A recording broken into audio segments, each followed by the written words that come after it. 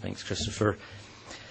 Um, the format for today will have um, opening remarks from our three panelists, and then we'll turn the time open time over to your questions.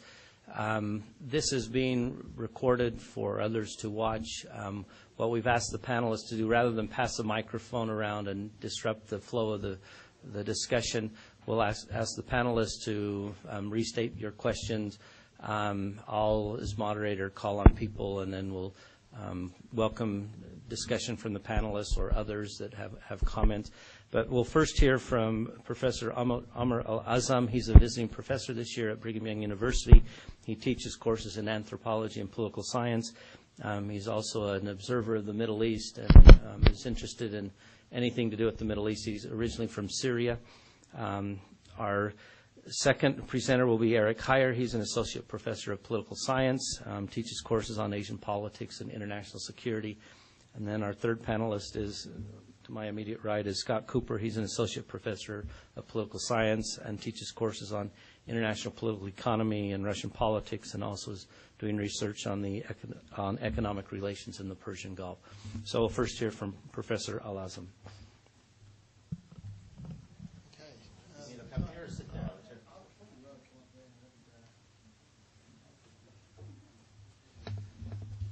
Okay. Um, thank you all for coming and uh, I just thought maybe a, literally a couple of words on why this all came about.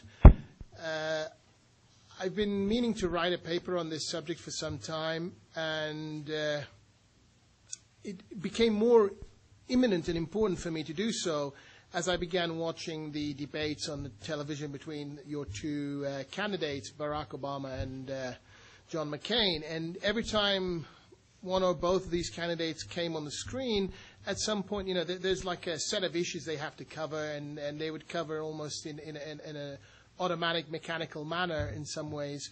And uh, whenever the Iran issue came up as part of, you know, are you going to be a strong, you know, defender of the U.S. and how will you deal with potential threat of nuclear, a nuclearized Iran, so on and so forth, and then you'd get whatever sort of set piece answer you're expecting to hear.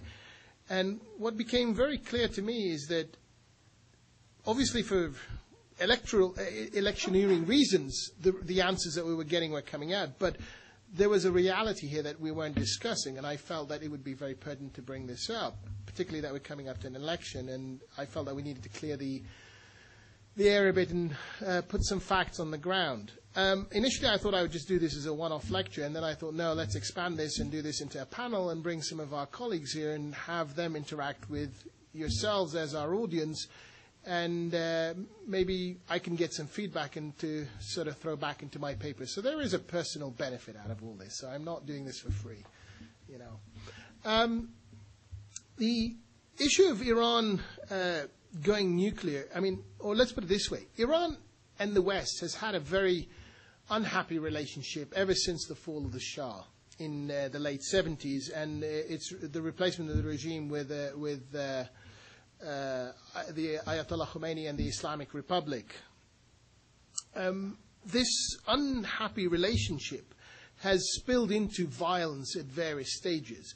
And the reason why I'm saying this is because as a result of this, Iran over the last Hmm, say, uh, 30, well, 25 years, has repeatedly felt threatened by the West in one form or the other, sometimes through direct, you know, action against it in the form of, uh, let's say, encouraging Iraq or giving Iraq the green light. Uh, that's Saddam Hussein's Iraq, the, Saddam, the very same Saddam Hussein which we then decided was a terrible person and uh, invaded uh, his country for it. Um, at the time, we felt that he might be a good candidate to help us out by basically taking out the then even more despised Iranian regime. So we encouraged him to go and invade Iran. And then uh, throughout the Iran, the, the protracted Iran-Iraq war, we supplied him with weaponry, we supplied him with uh, intelligence, we supplied him with, with the international cover he would need to uh, uh, carry on this, this war. In fact, uh, the fact that in this war they ended up, he ended up not only gassing or using chemical warfare, the first time I think chemical warfare and uh, um, was used on a battlefield since the First World War would be on that um, battlefield. And uh, the fact that he even gassed his own people is neither here nor there. Um, and so the Iranians have, over the years, built up a, a, a high degree of sensitivity to Western intentions towards their regime and have, uh, have felt this threat uh, sort of off and on in varying degrees. Um, most recent is in, uh, I can't even remember the exact date, I think it was in 2003 when Bush, President George Bush, made his Axis of Evil speech, um, where he places Iran firmly within that axis and uh, with a, a, much invigorated and, and, and, and uh, militarily inspired U.S., who then sets out to um, invade first Afghanistan and then Iraq, um, with some success initially, because obviously, uh, you know, there was very little resistance to both invasions. Um, you know, the, the, Iranians could sense that perhaps, you know, and, and, and the, the, talk that was coming out of Washington was that we're on a roll here, and, you know, uh, today Iran and Af- today Afghanistan and Iraq, tomorrow Iran and Syria, and God knows where else we will go after that. Um, so these, you know, these, these were very unsettling times for the Iranians, and so what does a nation that feels threatened do? It seeks to defend itself. I, when I say nation, I should be a little more specific here. Um, I'm talking about regime. Okay, the Iranian regime is feeling threatened. So what does it do? It seeks to defend itself. It seeks to find some means of um, alleviating this pressure that it, it, feels under.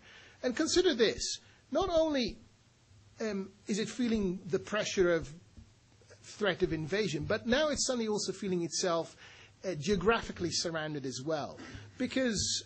Um, as of 2003, Iran now finds itself surrounded by uh, nuclear powers, if you want. To its east, it has the U.S. Army, um, which is a fully capable U.S. Army in Iraq. To its south, in the Persian Gulf, it has the U.S. Sixth Fleet, I believe, um, or is it Fifth Fleet? I can't. Again, I'm not. sure. I think the Fifth Fleet, which it certainly has uh, uh, nuclear capability. To the uh, to its uh, west, it has again NATO in Afghanistan, and then a little further. Sorry, to the east, it has um, Afghanistan with NATO there, which has nuclear capability, but also it has a nuclear Pakistan.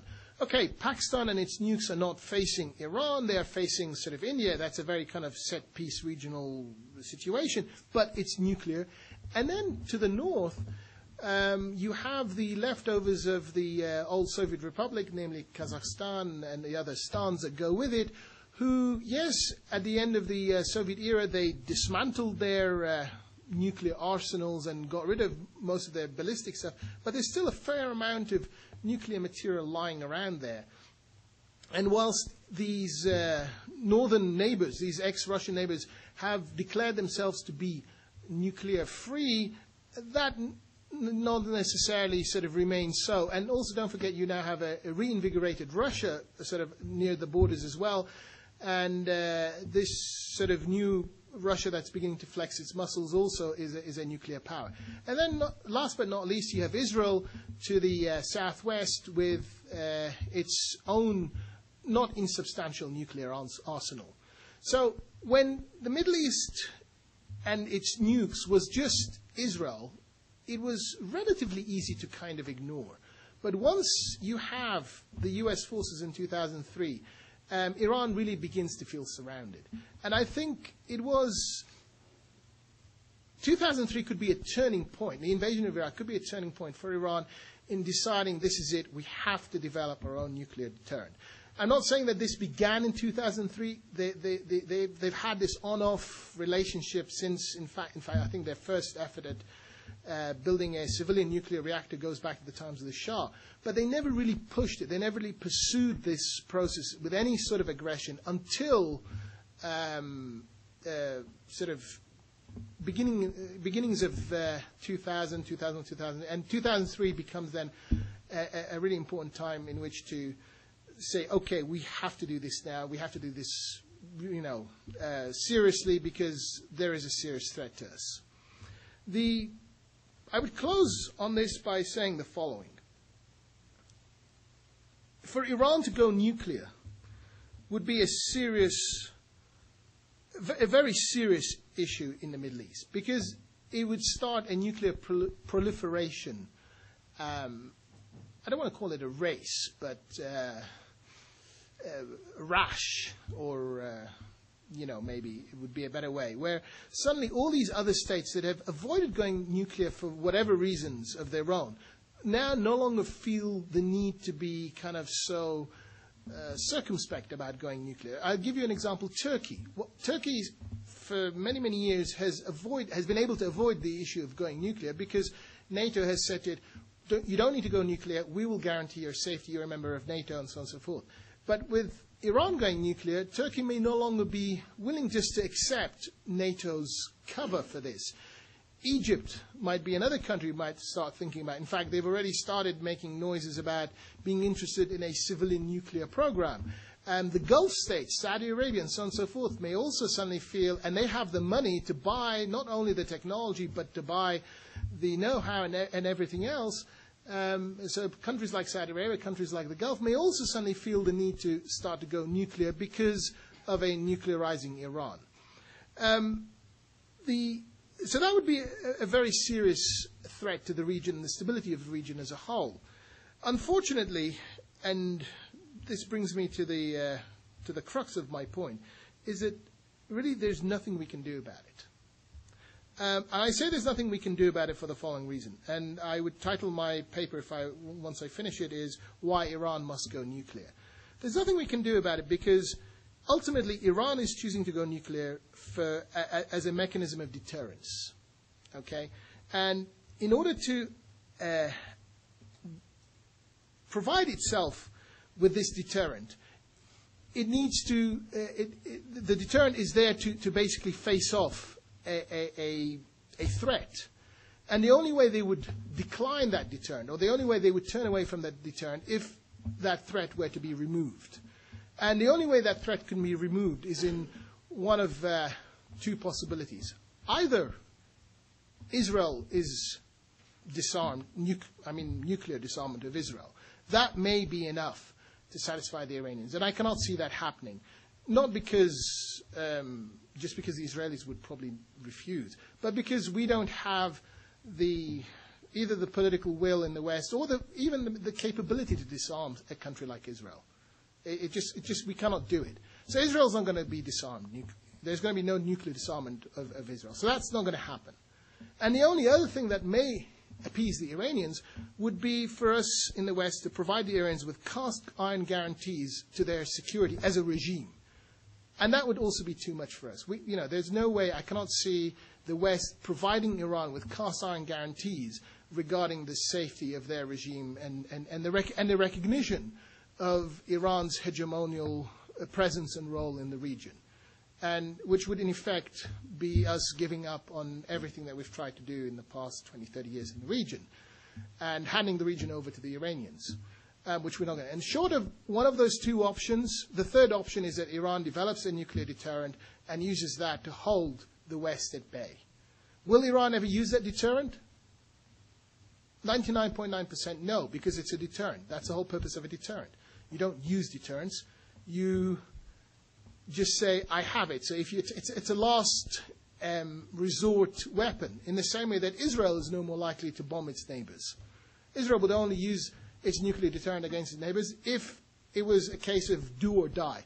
And I would say the, the Iranian regime would do the same. Um, so Iran's going to end up going nuclear. Uh, this could very likely lead to nuclear proliferation in the region and further instability. And unfortunately, the reason why we've ended up there is because I believe we've mismanaged our relationship with Iran from the very beginning. That would be my piece.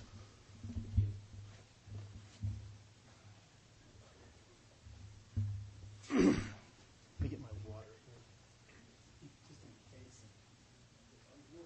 here. Um, well, I'm happy to be here this afternoon.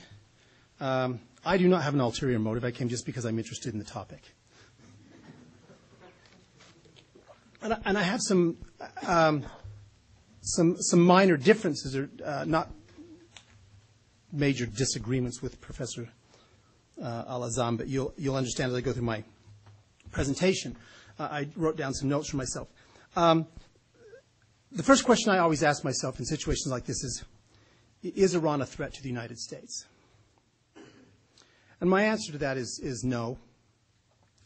Uh, and that, that answer is based upon um, three, three points. First of all, United States intelligence, the most recent national intelligence assessment says that Iran does not have a nuclear weapon, and nor are they developing one.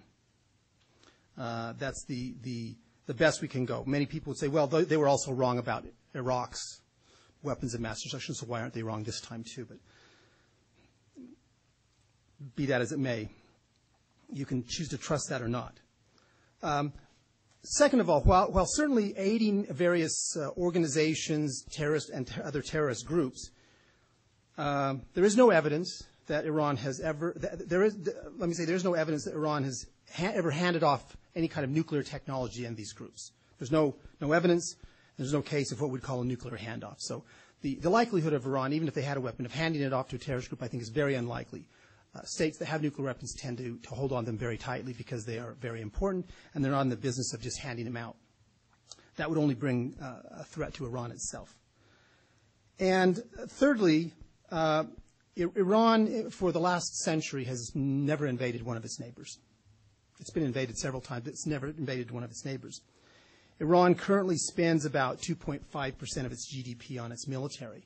That is half of what the United States spends. We spend about 5% of GDP on our military, and our GDP is much larger than theirs, of course, so the military budget is, you know, the United States military budget is larger than all other military budgets combined, basically.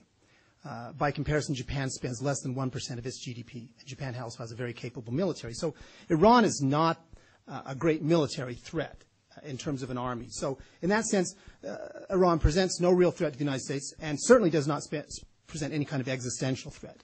Iran could not bomb the United States. It could not invade the United States. It could not attack the United States. The second question to consider is, is Iran, Iran certainly has a, some kind of program going. So is this a nuclear power program or is it a nuclear bomb program? Uh, certainly Iran has the uh, knowledge and the technology and the ability to enrich uranium, uh, a, a, necessary ingredient to build a bomb.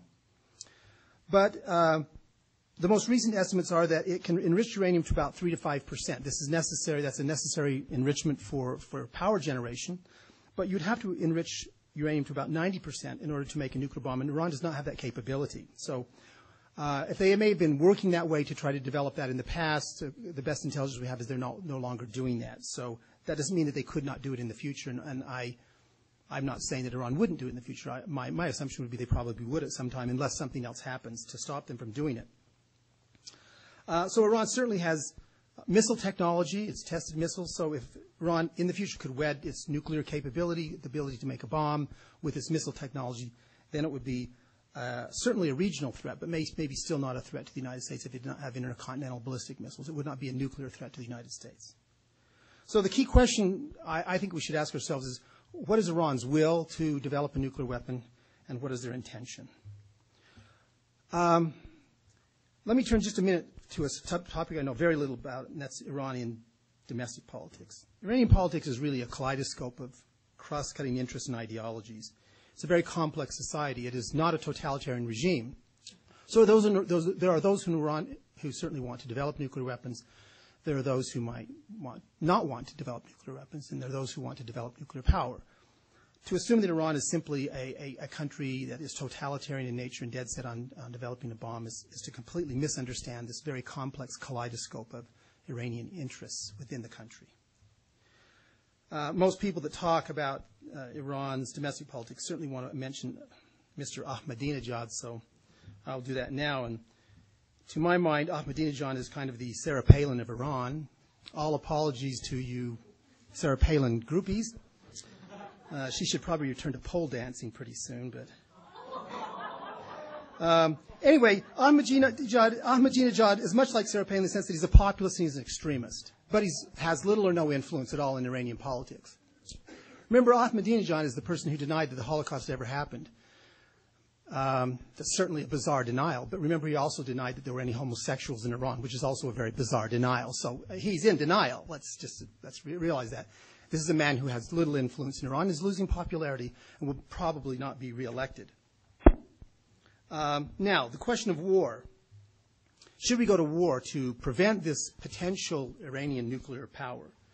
Um, I believe that going to war would certainly unleash uh, terror beyond our imagination. Remember, Iran had a lot to do with inventing and developing suicide terrorism. It would uh, unleash war region wide. It would not be limited to Iran. The conflict, it would be a conflict with really no limits in the region. It could easily spread to other countries involving Israel, Syria, the Gulf states, and, and beyond. It would also uh, greatly exacerbate the global energy crisis. Um, so we must ask ourselves then, for what purpose would a, would a war be, and what would the end game be? And I think our recent experience in Iraq should teach us a sobering lesson that uh, when we invade a country with uh, poor planning and poor reasons uh, and no end game, we end up in a in a terrible situation with uh, no good outcome for anybody involved. So I think we should always be very cautious before we contemplate uh, going to war to simply prevent Iran from getting a nuclear weapon. Uh, we didn't go to war to prevent Korea from getting one. We didn't go to war to prevent India or Pakistan from getting a nuclear weapon. So I don't know why I don't know why Iran should move to the top of that list. It's no less or no more crazy than any of those, any of those other regimes I just mentioned. Which leaves us with another option: negotiations. Um, we have lost opportunities to negotiate with Iran in the past. Um, in 2001, um, I don't think any of you remember, but uh, when we invaded Afghanistan uh, after 9 11, the Iranians were a great help to us in toppling the Taliban regime. They helped arm the opposition to the Taliban, they gave us intelligence to help that. And at that moment, we could have um, probably moved forward in some kind of uh, negotiations with Iran to try to overcome the very difficult differences we have. And we do have serious differences, but we may, maybe could have overcome them because they were open to negotiation at them, and they'd actually stepped forward and helped the United States in taking out the Taliban and Al Qaeda, two enemies of the Iranian regime. A second uh, lost opportunity is possibly uh, just 2003 post uh, invasion of Iraq. Iran was certainly stunned by the rapidity and the thoroughness of the U.S. invasion and the toppling of Saddam Hussein their you know, nightmare enemy for decades. They were awed by American military power. And at that moment, we could have sit, sat down with Iran possibly and said, look, now you know where our cards are and you know what we have in our hands. We should work to overcome our differences and try to move forward in a more constructive way that would benefit both of us. And Iran may have been open to that. So I believe that those are two lost opportunities for negotiations. When I think about this issue, I, I lapse into my own area of expertise, China. And remember that we, we, we attempted to isolate China for 20 years from 1949 until 1969. We got nowhere. We only got a more radical China. But when we began to open up our dialogue with China, we now have a China that is a capitalist economy. It's fully participating and investing in the world economy, in the world uh, global system, the United Nations, et cetera we should have learned from that that uh, isolating countries uh, never achieves much. We've now tried to isolate Iran for 30 years, and we have not got a better Iran. We have not gotten Iran that's more amenable to uh, international good behavior. So I would argue that we should move forward with, with some kind of negotiations. Um, I guess this would put me in the Barack Obama camp and not the John McCain camp. We should certainly, in negotiations, continue the involvement of the IAEA, the International Atomic Energy Agency, to engage Iran and ensure that Iran does not violate the Non-Proliferation Treaty. Iran is a party to that treaty, which gives them the right to develop nuclear technology for peaceful purposes, but uh, prevents them, forbids them from transferring technology for weapons and other things, or going nuclear, with going forward with nuclear weapons. And there, you know, I guess I've already mentioned that we have evidence that they're not doing that at this point, but I don't trust them that they wouldn't in the future. Iran, like all states, seeks two major things some kind of security and some respect. And we must re- address those legitimate issues. Iran certainly has legitimate demands for security and respect. And we need to do that in order to prevent nuclear proliferation. In other words, we have to address what I would call the demand side. Iran, as Professor Al-Azam has made clear, has serious security concerns. They are surrounded by nuclear armed states. They're surrounded by hostile states. One place where I would disagree that nuclear Iran began developing nuclear weapons in the 1980s when Saddam Hussein was gassing them and dropping chemical weapons on Iran, and the world was standing by and watching and not doing anything. They realized we have to be prepared to defend ourselves through a nuclear deterrence. And so we can tr- trace Iran's ambitions for nuclear weapons back to the 1980s when they were seriously threatened. So we have to address that threat. And if we can address the threat of regime, regime security and respect, we can diminish their demand for nuclear weapons. Now, in, in a recent study that I was reading, uh, it was estimated that 29 countries have moved forward at some point in time to develop nuclear, nuclear weapons. And successfully, 18 of those countries have been rolled back away from that. So this is a possibility. You can list a long list of countries South Africa, Kazakhstan, Switzerland, Australia, uh, Taiwan, Japan, that have rolled back away from developing nuclear weapons once they started down that road. Libya, the most remarkable place in recent history. And that could be done with Iran also if we address the demand side and ensure them. So, what would this require the United States to do? Really, nothing more than we have done, than the Bush administration has done with North Korea, after delaying for seven years, finally last year coming to some agreement, basically saying that we will not launch preemptive war against your country. We will not attempt regime change in your country. And we expect you to not proliferate nuclear weapons or develop nuclear weapons. And we will then cooperate with you to develop your oil industry. Iranian oil industry is deteriorating quickly. Their infrastructure is falling apart, and they depend on that for national income. One of the reasons why they want to develop nuclear power is to compensate for the lack of income and the lack of energy based on, on, on fossil fuels.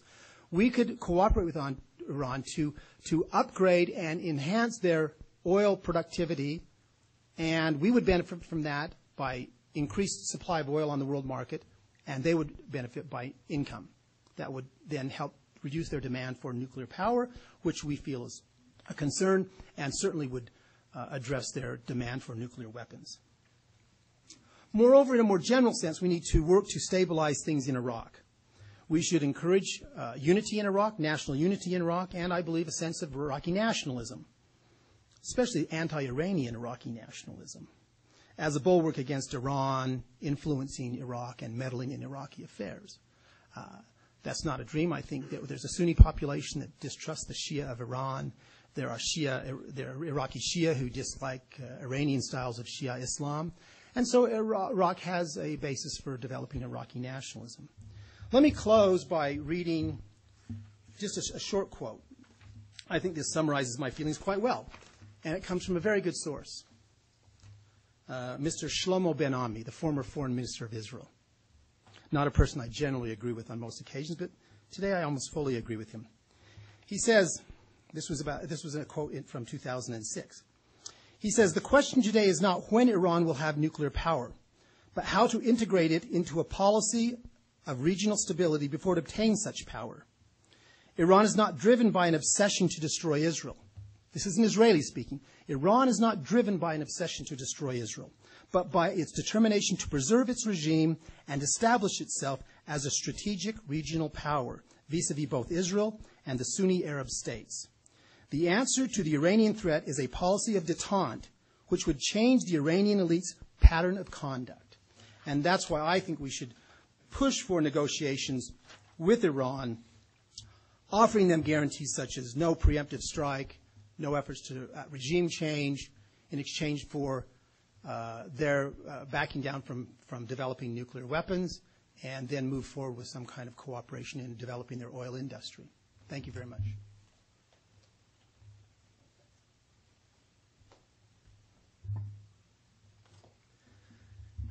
Thanks for coming today. Um, I want to maybe fill in some of the cracks of things that haven't already already been discussed.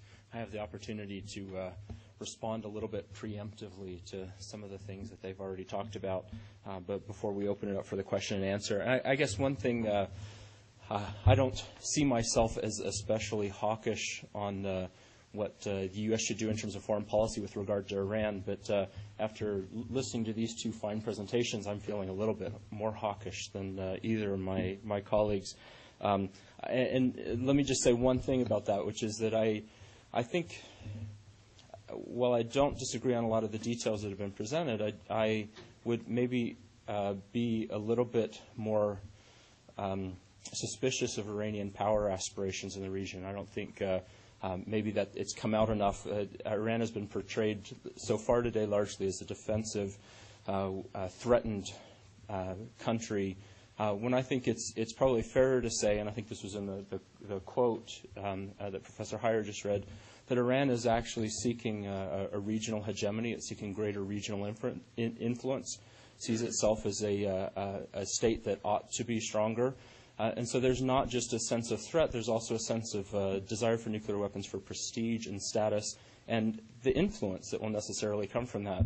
And we've seen uh, over the last 30 years since the Iranian Revolution uh, that this regime has sought to project its, uh, its influence uh, into its neighbors, sometimes peacefully, sometimes not peacefully. it hasn't technically invaded any of its neighbors, to be sure, but it has certainly worked to destabilize uh, some of them at times, especially its neighbors across the Persian Gulf. Uh, so I, think uh, I would take a, less benign view of Iranian intentions, uh, while not saying that uh, um, I, disagree that that uh, we can't work through some of these issues with Iran through diplomatic means for for now. Um, I, I, would be a little bit less passive about that in the long run. Uh, I thought in my presentation, the bulk of my remarks, rather than addressing, though, the what should we do question, uh, it would be useful maybe just to think through uh, some of the, the major options uh, as far as what we could do. What are, what are the policy options and what are the, the weaknesses of those options? Um, the, uh, the bottom line message here is that there are no good options, but uh, maybe by addressing all of the possible bad options, you all will learn something about which of these you dislike least. Um, one option uh, is uh, the, wait and pray option. Uh, this is to uh, uh, pray for regime change in Iran.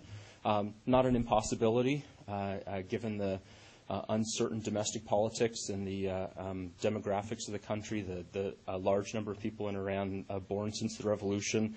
Um, there, there, are any number of ways that could happen. It, it seems to me uh, uh, unlikely to uh, um, happen in any kind of time frame that would be useful to Western countries or to Israel. Um, but it is at least one of the options. Second option would be some kind of persuasion or socialization, convincing Iran that you know all good civilized states don't need nuclear power, that it isn't really threatened. This is this is an option that we have certainly tried repeatedly over the years. Uh, I think also this is uh, an extremely unlikely kind of option. Uh, so I'll just mention it briefly. I, th- I think Iran has uh, very strong motives for gaining nuclear weapons, not just because of the threats that it faces, but also because of the prestige and status that it would gain from having nuclear weapons. Uh, uh, I think this far predates the, the 2003 turning point that Professor Al-Azam suggested. I think it far predates the Bush administration and the axis of evil.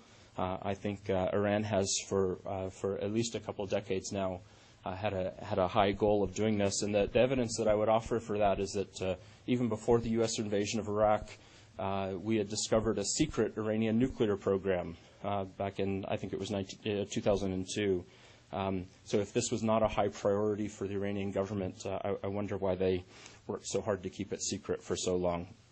Uh, I think this was a high priority. Uh, for my own interest in uh, economic relations, the best evidence that I can muster is pictures. You should go on the web and look for pictures of the newest Iranian currency notes. They issued new 50,000 rial notes recently that have a picture of Iran superimposed with with an atomic energy symbol, with an electron or an atom with the electron circling the the nucleus and a quote from the Prophet Muhammad about uh, uh, Iranian scientists or Persian scientists reaching for the stars. Um, I, I, think that the message is very clear.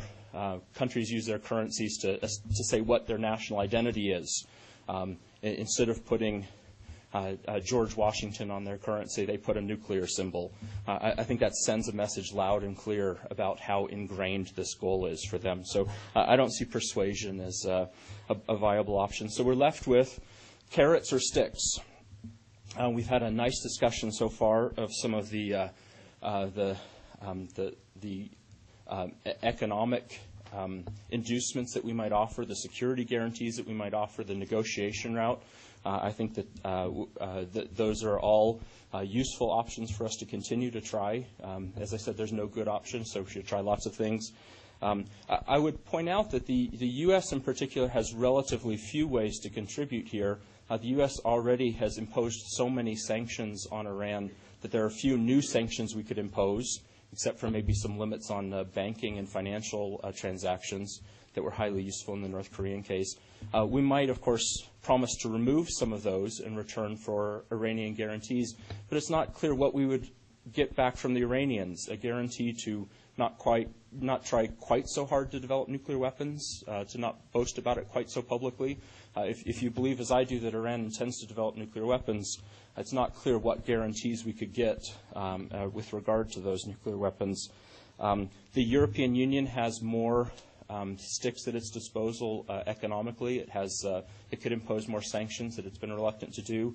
Uh, but it's hard to see how we could isolate uh, an oil-producing country economically at a time when oil uh, is and will remain in such short demand. Uh, we won't get cooperation from China and Russia and other states on any kind of sanctions. so sanctions and economic incentives along those lines are are a useful range of foreign policy actions, but it seems, um, and it may have slowed Iranian nuclear uh, progress, but it's not a long-term solution to the problem. Um, the last uh, set of options, uh, and I'll throw these out on the table, are the military options. Um, and I want to emphasize again that I'm talking about capabilities and options. This is not the part where I say Dr. Cooper thinks we should do this.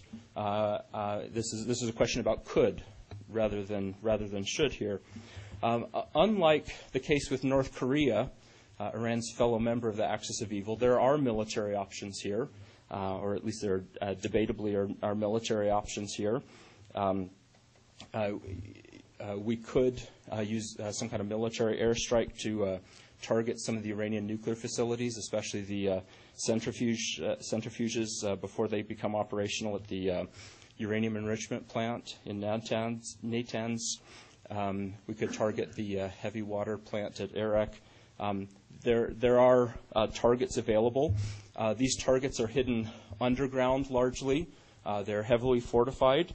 Um, they're much harder to get at than Iraq's Osirak reactor was in 1981 when Israel bombed it to try to set back uh, the Iraqi nuclear program. Uh, in part, obviously, the Iranians looked across the border and said, hey, if we put these above ground, we're going to get bombed too. Let's put them below ground. Uh, so so the, the targets are clearly harder to reach uh, than, than 30 years ago. On the other hand, the weapons are vastly improved as well. Uh, the, the, U.S. certainly has uh, weapons that, that would show some capability of uh, um, attacking and destroying underground targets.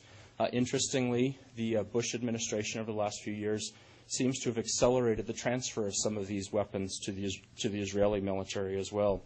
Uh, so that it is probably the case that Israel and the U.S. have uh, the capacity to carry this mission out.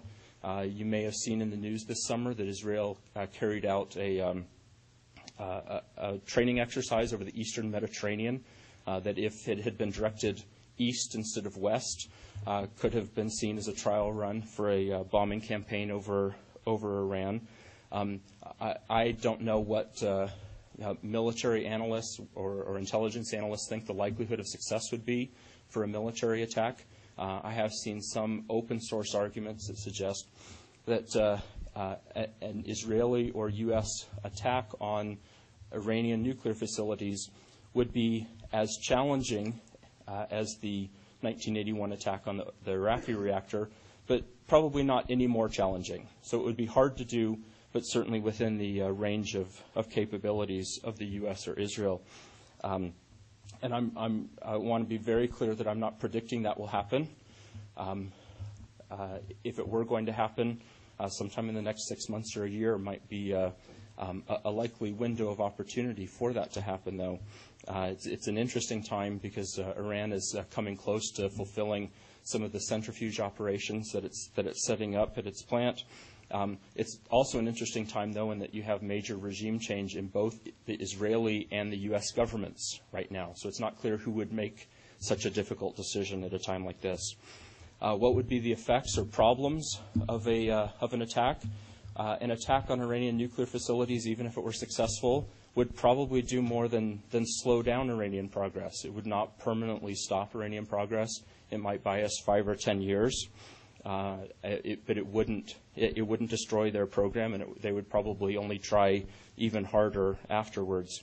Uh, also, as, uh, as Professor Hyer said, uh, there would no doubt be a range of uh, uh, Iranian responses.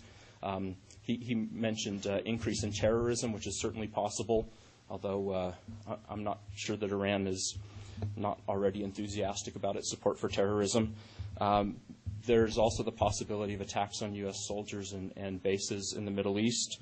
Um, uh, the more ominous threat is that Iran uh, has considered uh, and, and, is trying to develop capabilities to suggest that it could block the Strait of Hormuz and block uh, oil exports from the Persian Gulf.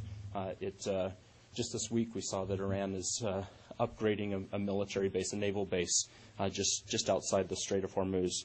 Uh, so it would be very, very costly uh, for the U.S. Uh, to, to get involved in something like this. Not to mention the, the condemnation from world leaders that would that would uh, surely be involved. Uh, it's not clear that it would have a long-term effect, but it is it, it is one of the options on the table. Um, I'll continue to dodge the should question for now. Um, but just conclude with, uh, with where I started, which is that uh, uh, I, am less sure that Iran is, doesn't pose a threat to the U.S. or, its allies in the Middle East. Um, I, think that this is an issue where we should definitely consider um, all options, all of the sanction options that are at our disposal, and that we should give serious thought to the to the military options as well. Um, I, don't think that, personally I would say that we're to the point where we should be using military options, uh, but, but all options should be on the table, in my opinion. Thank you.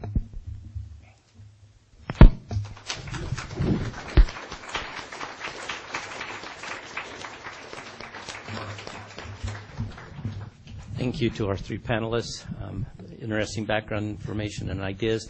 Let's now open it up to any of you. Um, as moderator, I'll call on you, and if you'll stand and speak clearly and you can direct your question to the whole panel or individual professors if you'd like. Yes.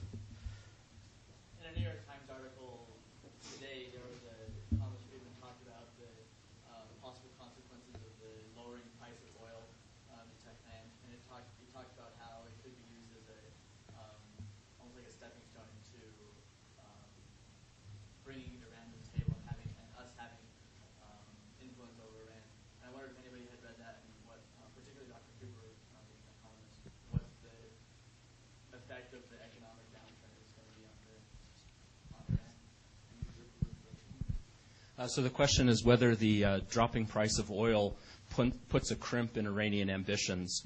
Uh, and the uh, the answer is that uh, certainly the dropping the, the reductions in oil prices uh, do complicate life for Iran. It's no longer going to be as flush with cash for, for projects like this.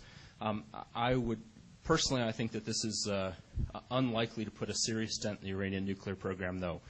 they were very comfortably developing nuclear weapons when oil was at $10 a barrel uh, in, in, the 1990s. Um, maybe, maybe comfortable isn't the word, but they found the resources for it anyway. Uh, I, I, think that speaks to the level of priority that this, that this is for Iran. And I, I, think that this is such a high priority that uh, uh Iran may have to, you know, uh, uh, you know, spread things out over 18 months instead of 12 months to make its payments, but that it's not going to put, a, put um, serious limits on the Iranian nuclear program. Um, I re- referred to that in, in my uh, comments when I talked about the, the negotiation option that one of the carrots we hold out to Iran is the fact that we would help them redevelop their oil industry. Iran's oil industry, of course, was developed with under the Shah and earlier, well, under the Shah, with uh, U.S. technology. And so they're dependent to a very great deal on U.S. spare parts and U.S. technology to, to maintain that infrastructure. And there's a, with the boycott, they're not getting that. So Iran's oil, in, oil infrastructure has been declining steadily over the last 30 years. Um, to the point that Iran, many of you may not know, that Iran actually has to import gasoline to fuel its cars. It cannot refine gasoline. And I was reading uh, one oil economist was estimating that in you know out some point in time, I don't remember exactly, that Iran could actually even become a oil importing country because its infrastructure would be so dilapidated. So I see this as an opportunity. Falling oil prices and uh, means that Iran needs to pump more oil in order to maintain income. And so I see this as a carrot to say, look, if we can move forward on the nuclear side of the deal, we'll give you some guarantees about regime change and preemptive war and things, and you stop and make, make it clearly, clear, clearly transparent through IAE that you don't have an ambition to develop a nuclear weapon, we would be happy to move forward and work with you on technology and build, rebuilding your oil infrastructure so that you can maintain your economy and maintain this living standard you have. So, so I see this as, as somewhat of an opportunity. Yes. I was curious, um, China has good relations with Iran, I understand. How come they don't step in and develop that oil infrastructure? How come, how come they don't step in and do that? Uh, they actually do. They help. Uh, but I, oh, the question was uh, uh, assuming that China has good relations with Iran. Why doesn't China step in and do these things? Um, China's relations with Iran are, are are okay. I mean, I don't think they're bosom buddies or anything, but but China actually looks outside of China to develop its own nuclear power generation. There's opportunities for even Americans. Were GE were ambitious to get into China and help do that. And China certainly has a certain level of technology, but, but given the fact that the infrastructure was American built in the past, uh, maintaining that sort of same, same kind of technology, same genre of technology is important. So the Chinese can certainly help. But for the Iranians, they would rather not. Their inclination would be go to, the, to, to go to the Americans, not the Chinese. That would be their preference. China certainly has an interest because China is an oil importing country, and China would like to get oil from, from Iran and other Central Asian states, and they do import a great deal. But so there is some incentive, but I just don't think they can they can fulfill what Iran wants. Part of it, part of Iran's ambition is also to develop a relationship with the United States to enhance its own security, so its regime doesn't feel feel as threatened, and and China can't do that.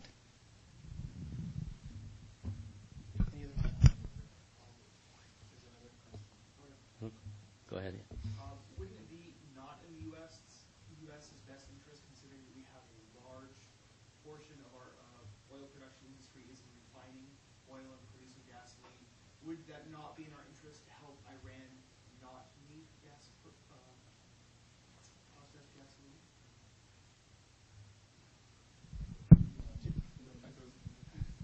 So is the question that uh, there there are too many knots in there? I'm a little confused. So is it in our interest to help Iran develop uh, uh, refining and processing technology? Is that the question? Yeah, considering that we have so much, our indus- U.S. industry is so invested in oil refining.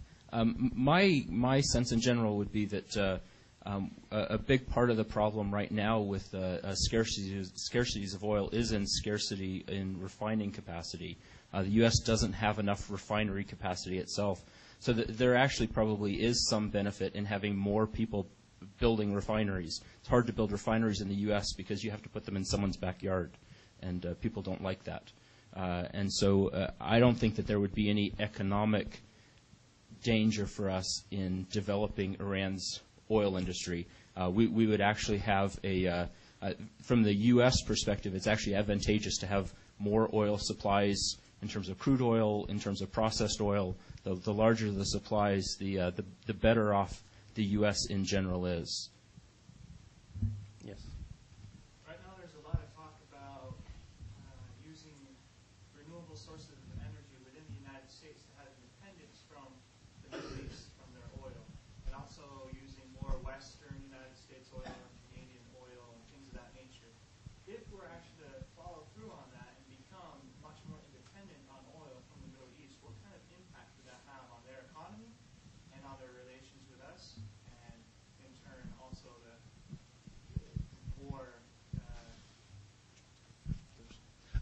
Well, initially, it would have no impact on Iran because we don't import oil, from Iran. And, and, I'm not advocating that we uh, help rebuild the Iranian oil infrastructure. Problem this is pumping and stuff, not refining, to, to benefit us directly so that we, they, would, they would pump oil, we would import it. It would just put more oil on the market so we could go to our usual sources and others could absorb Iranian oil. So I, I, at this point, I'm not even advocating that we say, say, look, at you pump oil, we'll buy it from you, because they can always sell it someplace else, and we can get it from our other friends, other friends, not Iran. Um, look at the whole non-fossil fuel generation of power and stuff is something that we'd all like to see happen, but but but we we are generations away from that. And in the short term, we might as well pump Iranian oil. Now, one of the incentives for Iran to develop nuclear industry is they're smart in the long term. They know that their oil industry, their oil is a finite resource. And when they run out of oil, what do they do? And so they're looking ahead and they want to be able to develop alternative sources of energy for themselves. So I think there's an incentive. I can clearly see an incentive for Iran to develop nuclear power. I can also see an incentive for Iran to, do, to develop nuclear weapons. So I think we need to, to address that issue.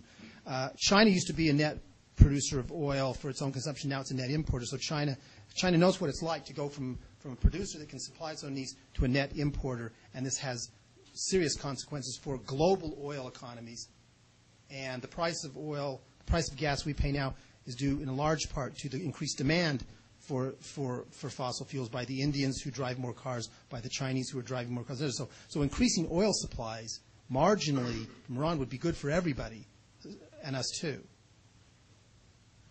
Um, I'm not an economist, so I'm not going to be able to sort of give you exact details here, maybe Scott can fill in the blanks there.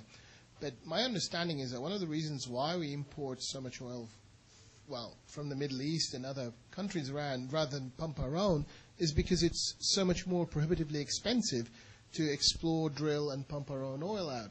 And as long as the price of oil remains below a certain level, I can't, this is where I'm saying maybe Scott can give us the exact figure, then we will continue to need to import oil. Uh, from other parts of the world rather than drill our own. And I know there's this kind of when, when oil hit 150 something dollars a barrel, suddenly everybody sort of went really ballistic and said, no, no, we have to drill our own, and you have all this campaign media stuff going on about drill, baby drill, and all that. That's great. That's you know that sells votes. That kind of gets people stamping on, on, on the stage and all that. But the reality is, when the price of oil eventually drops, and this goes through cycles, when the price of oil eventually drops to a more reasonable long-term level, is that price going to be uh, still viable for uh, us to drill and, and pump oil out of the U.S.? because what company in the U.S. is going to invest billions of dollars or millions of dollars into, uh, you know, exploring and getting the oil? Getting oil out of Alaska and out down here is a very expensive process. Otherwise, people have done it a long time ago. And, and so we will continue to get oil from overseas until this price differential is corrected. And maybe Scott can sort of I, I would say I largely largely agree with that. Although I would say that drilling for oil offshore in Alaska is not so much, not quite so much a price issue as a as a political willpower issue. It wouldn't be that expensive, that much more expensive to get oil from uh, from from uh, new sources in Alaska, but it's politically costly to do so. And unless the oil prices, unless you're paying four dollars a gallon at the pump, there isn't the, and even then there may not be, but there isn't the political will to, to you know, mess up these pristine areas off, offshore and so on.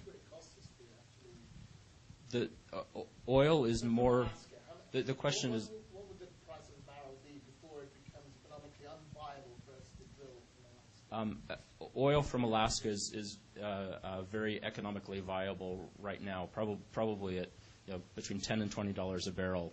Oil from Alaska is very viable that's that's more expensive than oil from say Saudi Arabia, uh, which is like three or five or ten, depending on who you believe.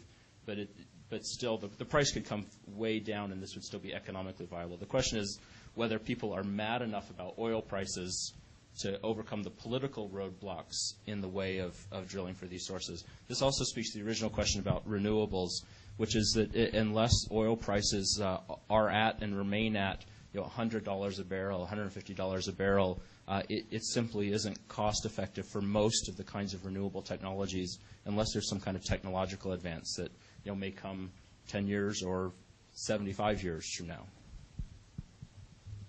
Let's go here. Okay. Um, I understand that uh, most countries that have nuclear weapons use them primarily for deterrence. In fact, after the first uh, use of nuclear weapons in World War II, there's never been a, a use by any country again. They've gone to war, but they've never used nuclear weapons. Uh, Iran has a bad history with uh, with people, how to say, uh, interfering in its domestic politics and other, and also having a large American presence right next door in Iraq. Uh, what's to say that Iran doesn't want it primarily for deterrence like other countries, also considering the fact that if they did use it, not just the country they used it against would be at war with them, but the whole world would basically Iran after that, I think, just if they use it against any state. I, I think this is a great question. The question is how do we know that Iran with nuclear weapons wouldn't use them primarily for deterrent reasons? Why, why, why are we so scared about Iran with nuclear weapons to think that they would use them in some kind of offensive way? Uh, and I, I guess I would divide that question up two ways. Uh, first, I, I, um, I sleep better thinking that Iran probably wouldn't use its nuclear weapons. I don't think that the day after they get nuclear weapons, you know, they're going to you know, fire up the launch codes and send these into Tel Aviv and Jerusalem. I, I, for the reasons that you outlined, I don't think that's a very rational thing for them to do. Uh, on the other hand, uh, there are uh, plenty of, of debates in the scholarly and intelligence uh, communities about whether states always make the most rational decision. Uh, an Iran with nuclear weapons is an Iran that even if we are, even if you are 90% sure or 99% sure or 99.99% sure they intended it only as a deterrent, uh, we might lose a little bit of sleep about that 1% or tenth of 1%. Um, we, we, we might be a little a, a little nervous about that. The second thing that I would say here is that, uh, in terms of drawing a line between offensive use and kind of just sitting back passively as a deterrent, uh, I think you're also missing the intermediate category, which is where uh, nuclear weapons are very useful because they provide influence and leverage. Uh, they, they provide a they provide a power resource that that um, uh, just just the ability to threaten, the ability to um, uh, it, they, they there wouldn't be an attack on the U.S. homeland, uh, but simply the fact that American soldiers in the Middle East were constantly uh, living with, within range of Iranian nuclear mi- missiles would change the bargaining power between Iran and the U.S., which is precisely why Iran thinks, or one of the reasons why Iran thinks this is a good idea, um, and one of the reasons why the U.S. thinks this is a bad idea. And, and I agree with Scott. I, I, I don't le- lose sleep at night about Iran going nuclear because I believe it would be a deterrent nuclear force, minimum deterrent nuclear force. Probably. That's what I said. Probably. Yeah, I, I maybe I'm a little more confident than Scott.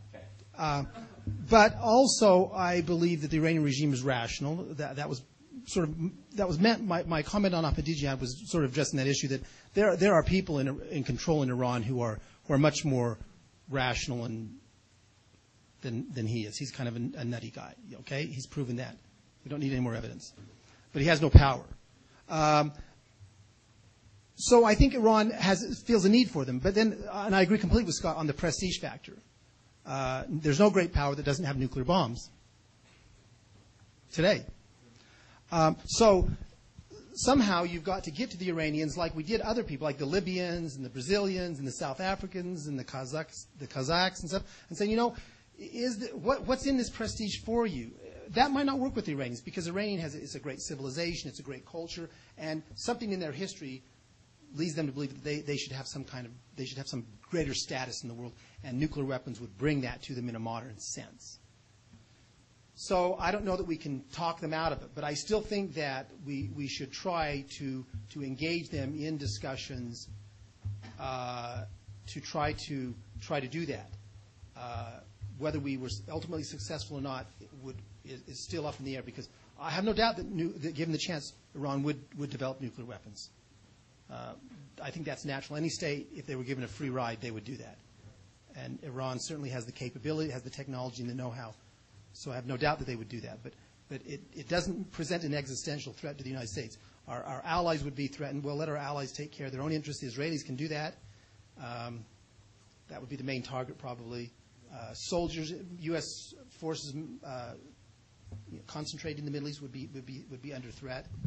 Uh, but but we, I think we could deter an Iranian attack on them because we certainly know where the bombs would come from, and we could. So I think they would be deterred.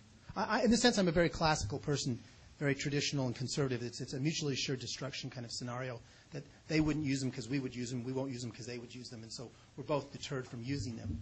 But they have that utility in the sense that they deter others from, from doing other things. Um, I mean, I think you go to the heart of the matter. It, I, personally, I think it's all about deterrence. I think the deterrence also feeds into the other issue that Scott mentioned, which I think I also briefly touched upon, which is um, the hegemonial interests of Iran. Yes, I, I, agree. Iran has hegemonial interests in the region, and it sees itself as a major player and believes that anything that happens in that corner of the world, at least their end of the world, should also be run by them. They, they, they, they you know, and, and, they see themselves as being a, a major power there. So, in order to preserve their position, preserve their hegemonial interests, and also protect their regime, and regime survival is key here. Okay, the, the, the, nuclear deterrence becomes not just a viable option, or it becomes an imperative option.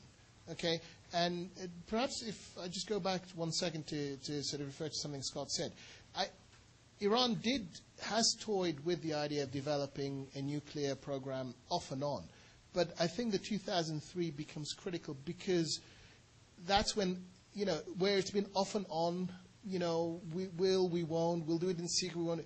2003 was critical. That's when the, all, the, every, all the effort and the energy went into there. And I think it doesn't matter whether they have, um, you know, whether they're, uh, they have a lot of income from oil or whatever. That's a number one priority for them.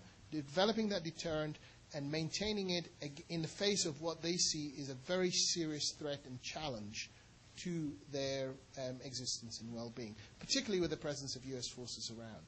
So the, the deterrence is there. Will they use that deterrent? Well, if you use a deterrent, it's no longer a deterrent. It stops being. Yeah, you exactly. Use it, lose it. And I lose no more. I, I sleep in Damascus quite often. And I don't lose any sleep in Damascus thinking that the Israelis are going to bomb me. Not because the Israelis are more reasonable or they're more of a democracy or they're more of anything. Just because they keep that as a deterrent. And they're not going to use, they're not going to waste that. They need that because just in case one day things really, really go belly up for them.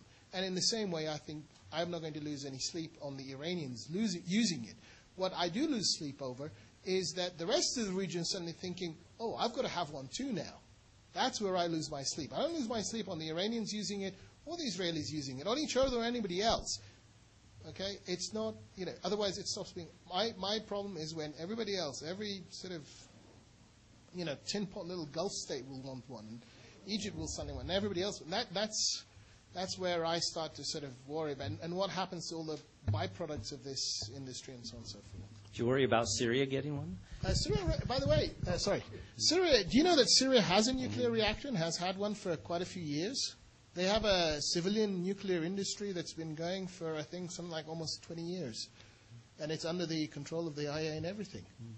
They already have one. It's in Deir ez-Zor. Not many people know this, do you? I guess one, what confuses me is, is why you think 2003 is a key year because the, according to the National Intelligence Estimate, this is the, the highest level U.S. intelligence estimate, is that Iran actually abandoned the development of nuclear weapons in 2003. They abandoned the development of nuclear weapons. That was, that's, the, that's the latest U.S. intelligence, and that's what sort of took the wind out of Bush's sails of pushing for for uh, an attack on Iran or that, that, you know, this was, I mean, since that national intelligence assessment came out, was it last year? Uh, the pressure on the U.S. government to engage in, Iran, in Iranian negotiations has, has really toned down. Uh, so, I mean, I see the critical takeoff point is in the 80s. Well, of course, they had technology and things under the Shah, but in the 80s, when they were being bombarded and savaged by Iraq, they really thought, you know, look at the world's not going to help us. We better get the, we better get the bomb. So the bomb was to deter Iraq or others that may have threatened them. So I feel I feel less concerned about Iran now since reading that national intelligence assessment that says in 2003 they abandoned that project. Uh, for uh, they didn't. I don't know what the reasons were. International pressure, too expensive. They didn't want. They didn't. Maybe they didn't want to provoke uh, an American attack because things were getting pretty hot in North Korea at that time. The Bush administration and neocons were really were really talking hawkishly, and so maybe this was an attempt to try to tone that down. I'm not. I don't. I just simply don't know what the motivation was, but that's that's what the intelligence was saying. Let, let Scott say his thing, and then I want to come back and sort of Yeah, this is a good point because I think we, we all three disagree with each other. So I'll, I'll try to attack both of them. Uh, uh, uh, get, get get some debate going. Um, I, I guess uh, I, I do see uh, 2003 as a turning point, uh, and and I, I agree with Professor Al Azam that. Uh, Iranian uh, activity increased uh, significantly in 2003. I would read that, though, not as a new commitment, but simply as a as a public exposure. They had a program that was proceeding quietly, gradually, but determinedly underground, uh, literally and, and figuratively.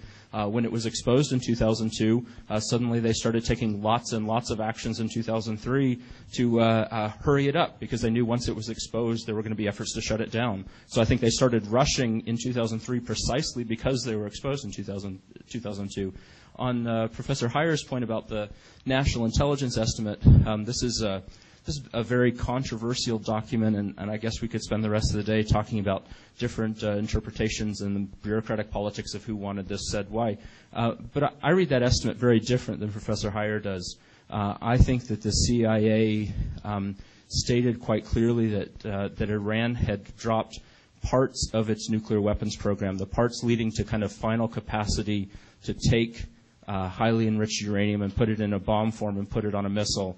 Uh, I think that the estimate also says very clearly that Iran uh, continued with the other 90% of the program, uh, and that, that Iranian efforts to um, develop highly enriched uranium, ur- enriched beyond what's necessary for civilian nuclear energy, uh, as I read it, continued after 2003. Uh, so I think that the CIA report has been uh, frequently misread to suggest a kind of termination of Iranian activity when I think they, they actually decided let's do the hard part first before we spend a lot of time on the most controversial final step. Technologically, the final step is not the hardest step. Uh, it's not uh, going to be uh, very time consuming for them. It's one that they can uh, that, that they can hide more easily. So I read the national intelligence estimate as as uh, very misleading, uh, and and the public debate about the national intelligence agent assessment I think has misleadingly suggested a stoppage where there was in fact no meaningful stoppage. I, I think what you're saying has a lot of merit, and I actually agree with you, but not in the way that you're necessarily couching it, because I think we're missing the real point. You see, um, what a lot of people don't realize, and I, really wish, this is where I really wish we had our nuclear uh, physicist here, because he could sort of kind of correct me if I'm sort of losing my way. But as I understand it, really, a nuclear program is not just developing a bomb um, actually putting to you know the, the actual making of a bomb, as far as I'm told, can be done in any high school lab if you have the right components. So it's not really a very difficult thing. The real difficulty is in actually delivering this bomb to an exact target and then getting it to go kaboom. That's where the real difficulty lies, not in actually assembling the bomb. The, the, assembly of a bomb is fairly low tech. Okay, and the Iranians have that technology and they can do it any time. So in that sense, uh, Pro- Professor Scott is, is, is right in that um, the bits that they need to go to the last part, they probably already have that sort of, and they're keeping it, uh, you know. What I think the Iranians focused on, especially post 2003, is the delivery mechanisms. Look at where all the Iranian effort's gone. It's gone into developing their missile systems. The missile systems are going to carry that payload and deliver it at whatever chosen target's going to go. Um, until, I- think very recently, the last missile test, I think I believe now Iran has the capability to reach parts of sort of uh, central, well, middle Africa. They can certainly reach southern Europe. They have a medium-range ballistic missile. Okay, and so they have bits of Europe, well, substantial bits of Europe and uh, parts of the Middle East within their range. And that missile is, I, my guess is that it is, I, I don't know, I don't have the actual technical specifications, but from what I understand, it's perfectly capable of carrying a nuclear payload. So, in terms of the nuclear material, the bomb itself, um, you know, I think the Iranians are more than capable of buying nuclear you know, plutonium or weapons grade uranium if they want. Kazakhstan is awash with this stuff. It's been awash with this stuff since the the the the, the, uh, the 90s when.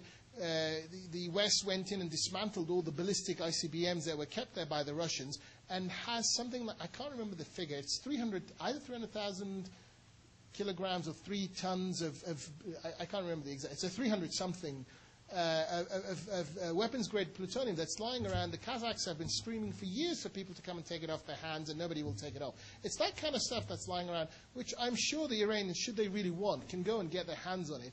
And once they have that, they don't. So the whole issue of them making their own, uh, you know, weapons grade uranium.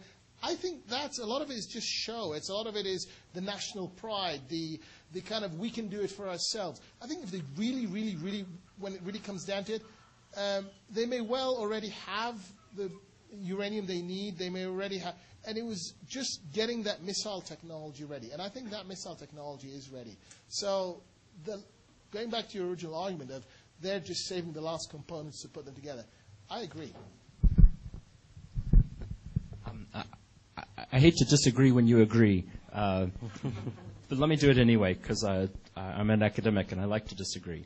Uh, and I would say that the, in, in many ways, the hardest step I, I still think is is uh, creating the weapons grade uranium. Come, finding uh, finding non-weapons grade uranium uh, is is uh, possible, but I still think that technologically the hardest step in the process is taking the uranium and uh, basically filtering it to the point where it becomes suitable for for weapons use. That's what the centrifuges that you sometimes hear about at the uranium uh, enrichment plant in, in Natanz are, are intended to do. Uh, Iran has put enormous effort into, into buying and installing large numbers of centrifuges here over the last uh, three to five years. Uh, I, think this is the step that's most crucial. Uh, this is the step which has been most challenging in the past for aspiring nuclear powers. Um, I, think that once you have that highly enriched uranium, uh, it, is still something of a technical challenge to, weaponize that and put it in a small enough form to put it on a missile. Um, but I, think Iran is, putting all of its efforts into the, the, to the hardest step precisely to give itself the option later on to either use or not use that highly enriched uranium as it sees fit for, you know, for, for military use. But Iran is still a long way from being able to do that. I mean, the level of enrichment necessary, there, there, there are ways from doing that. And so while the NIE says that, that certain aspects of their nuclear bomb process have been maybe on hold, and they're proceeding with other aspects which have a dual use. It could be for energy uh, generation, it could be for bombs. For, for me, this then presents just the, just the right moment when, when, when negotiations uh, are possible in that Iran has, has, under international pressure, has backed away from some of the things that it was doing. And let's assume for the moment it was international pressure that did that. Um, and if we and the rest of the world, the, the Europeans and the Americans and the Russians and the Chinese step forward and, and give them some confidence that we will not, that, that, that they don't need a nuclear deterrence, and we offer them some carrots, economic assistance, technological transfer, and things like that, we, we may in fact be able to back the Iranians down from this. And, and that may, and, and if we can't, we don't lose anything. We, we haven't given anything to them. We haven't like legitimized their regime in any way. We simply negotiated with our enemy. Uh, we have maintained our strategic flexibility. We could always go back to sanctions. We could always go back to the hard line if the negotiations don't work. But I think Iran is, is, at, is at a moment now when they may be more open to that. Uh, and so, I mean, in, in all cases, I think we should keep war on the table as an option, not the best option by any means, but negotiations might be the best of these bad options. Let's go to the next question. That okay? Uh, let me just respond to one thing really quickly, which is I think Iran does have the te- technology to enrich uranium right now. Um, it may take them a while to get it done, uh, it may be three or four years before they get all the centrifuges installed, the, the uranium, uranium enriched, and they're willing to go to the next step. But they are not lacking the technological capacity right now. Uh, they are not lacking the, the centrifu- centrifuges right now. Uh, the course that they are on, it's really just a matter of time. Now, that may mean that we have a window of opportunity for negotiation, and I'm, I'm not debating that point, but technologically, they are, they are at and beyond that threshold. Let's go here. I, I have a question for Professor Alessandro and also Professor, Professor Kruger. Uh, mainly, uh, I've heard a lot about uh, how other countries have nuclear weapons, the multipolarity of the region as far as nuclear powers, and I've been led to believe in my research on it that it's mainly a bipolar uh, struggle in the Middle East between Israel and Iran. And if that isn't really the case, would you care to elaborate on that? Sorry, if I've understood the question right, you, what you're suggesting is that the nuclear issue is part of a bipolar struggle between Israel and Iran, rather than I- Iran having its own sort of aspiration. It's, I, I think not. I don't think it's a strictly, as you say, it's a bipolar struggle between Israel and Iran. Um, Israel is a factor. Um, Iran sees its influence uh, if you want, uh, being spread or, or, or, or um, extended through various groups, such as Hezbollah, for example, in, in South Lebanon. Um, uh, Israel sees Hezbollah as a threat, um, so you have uh, the, you know, a, a, a conflict by proxy, if you want. Um, Iran sees itself as an Islamic power and therefore sees itself as a potential guardian of Islamic um, faith, Islamic holy sites, Islamic um, traditions, etc. Um, Israel is seen as a potential threat, or uh, by holding onto Jerusalem, or by you know oppressing a, a potentially Muslim population.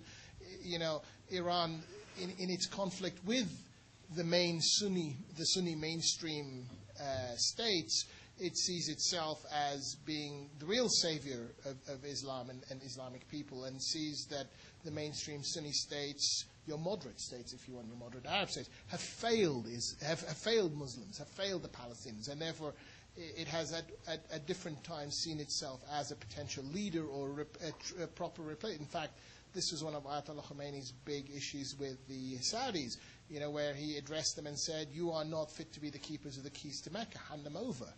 You know, you you shouldn't be in charge. We should be in charge. We're the true Muslims here. And so there have been incidents, but to see it purely and simply in a in a bipolar sort of conflict between Israel and Iran would would be a gross oversimplification and not the case. The fact that Israel, you know, needs for its own sense of well-being uh, to have a bogey out there. All right? There has to be an enemy, a big bad enemy that it can then turn around to its own people and say, you know, you have to support. You have to, and, and to the world, no, you have to support. You have to support our policies. We, we, we not only serve a strategic interest, but also we are threatened by this. You know, the Arab world no longer really poses a threat to Israel, and Israel has proven that beyond a shadow of a doubt. Iran, however, is another, you know, is an unknown. So it serves, from an Israeli point of view, it serves a, a, a good, uh, it serves the purpose of basically acting as that evil out there that you know Israel stands as the last bastion to hold back the tide of whatever, and, and in a way protect the West and the rest of the world. So the rest of the world has to support Israel. So Israel feeds off that, and the Iranians at the same time need also an, a, a gross evil in the region that they can also fixate on. So, but it's not; these are incidentals. The, the real issue is not there. Yes. Um, it's- it seems like every, it's often said we want to keep the military op- option on the table, but nothing has really, you know, been done. There's been no strikes. There's been no um, bombings at all. It seems like like uh, how long is it going to sit on the table? And if, and if nothing happens, then once they have deterrence, once they have that nuclear power, all of a sudden it's off. So it's, right now we're not doing anything. And so we don't we don't want deterrence, and not because we think they'll bomb people, but we, we don't want another you know semi Cold War in the Middle East. But it seems like we need to do something because I've read in various sources that it's in about three or four years they're going to have the, that capability, and as soon as that happens, it's off. So we need to do something. And my question was kind of um, about bargaining with them and about offering them those, those that assistance, that aid, opening up, opening up negotiations. uh, kind of how it worked in, in Korea, uh, North Korea. Will that work for Iran? Can we do that? Uh, so the question is, um, why we, we talk we've talked about having the military option on the table, and we haven't done anything with it, and we and in three or four years, Iran will probably have a nuclear weapon if nothing's done, and we don't want that. But so, but my question would be to, back to you is, what's wrong with doing nothing? I mean, uh, if Iran got a bomb and there was nuclear deterrence, it's not the end of the world. I mean, Pakistan and India got them, and that's actually brought some stability to that relationship. Uh, we would have a new Cold War in the Middle East, but, but frankly, the Cold War is kind of a nice thing. I mean, remember during the Cold War between the Soviet Union and the United States was, was a relatively peaceful period of time in world history. It got kind of bad after the Cold War ended. So, so having a Cold War and having nuclear deterrence, in other words, this is a very traditional argument. I mean, having a mutually assured destruction is not such a bad thing. I mean, the Israelis and the Iranians deterring each other, so there's no war in the Middle East because anybody that provokes war might feel that the Israelis or the Iranians could be drawn into a nuclear holocaust. That's not a bad situation. I mean, it worked with the Soviet Union and the United States for, for a long, long time. And the world got, got a lot, a much meaner place after the Soviet Union collapsed and after that, that deterrence was gone. Now, so that's one argument I'd make about the, the deterrent thing.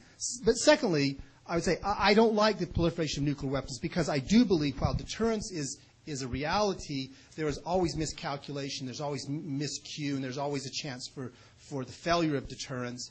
And, and it's not because of irrational, crazy people, you know, just launching these things, but it's miscalculation and misperception. I mean, we came so close to nuclear war during the Cuban Missile Crisis that it's scary. And the more, the more states that have nuclear weapons, the more likelihood of some miscalculation. So I don't like Iran going nuclear, and that's why I have pushed for engaging them in some, some discussions to try to avoid that. Because if they go nuclear, why wouldn't the Saudis want to? Why wouldn't the, uh, you know, others want to go? And then you have nuclearized. I mean, the, the idealistic option that none of us have proposed at this here is, is a nuclear-free zone in the Middle East. Because frankly, oh, did you? Okay. But frankly, Israel is not going to is not going to go and denuclearize Israel, and we know that. So the talk of a nuclear-free zone is just that's really idealistic and and, and sort of. Yeah, I mean, this was all. Yeah, let's let's put credit where credit's due. Israel did start this. and and, and uh, but so so in other words, I'm saying a nuclear-free zone in the Middle East is not an option. A mutually assured destruction is an option, but I don't think it's the best one. Frankly, I'm happy with just having Israel have the nuclear bombs. They've been real good about keeping them in the basement, and and then we avoid the proliferation problems. But but but a nuclear Iran, and this is where I differ with maybe Scott to some degree and others, is that it's not a nightmare for me. Uh, because I, first of all, it doesn't threaten the United States now. It could in the future if they had ICBMs, but, but the Israelis will take care of themselves. And uh, I, I frankly don't think the Iranians would ever bomb Jerusalem. I just, I just can't quite imagine an Islamic State bombing. I live in Damascus, which is between Tehran and Jerusalem. You know? That's not a good place to be. yeah, uh, but I, I can't. I can't Just don't feel good about it. it might be. A, yeah, that's right. They might not. You sleep well in the U.S. Look, at the map. I, I've been looking at the map all day. Right. They might not be the best shots, you know, uh, but but I don't th- I don't think I don't think Iran's going to ever target Jerusalem. I just don't see an Islamic country taking down the Dome of the Rock and the Al Aqsa Mosque. Over here in the, yes. Okay. Um, by having the military option on the table, um, I believe that that makes the United States a threat to Iranian national security. Um, so I guess I have two questions. One would be, um, are they not justified in um, defending themselves from the threat of us? And my second question is, does the degree of that threat change depending on who is elected president? Um, I, I think, yeah, I think you raise interesting questions. Well, eh, of course, any state is entitled to defend itself. Um, but it's not just, you know, Iran, as I said initially, it's not just about Iran defending itself from hostile U.S. In, U.S. stroke Western intentions. And believe me, the West has had unpleasant thoughts about Iran ever since the, uh, you know, the, the, the 50s with the Operation Ajax when they, they did try to have a, a, a secular democratic state under uh, Mossadegh. And, and, and, you know, the, the CIA and the British sort of trashed that one and, and put the Shah back in place. And it's been downhill ever since. Um, but it also feeds into Iran's hegemonial interests as well. Iran doesn't just see itself as this nice, gentle, polite sort of uh, kind of state that just sits there and wants to be left alone and doesn't.